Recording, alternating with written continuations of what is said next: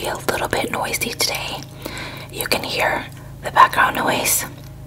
They're still working on the fence outside, and what you're hearing is the generator um, for their power tools. Hopefully, it's not too big of a distraction, but if it is, I am so sorry. Mexi Nuggets here. And some hot sauce, grandma guac, nachos with chicken.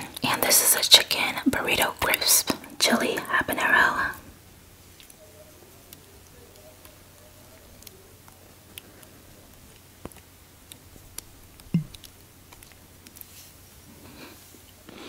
These nachos look really good.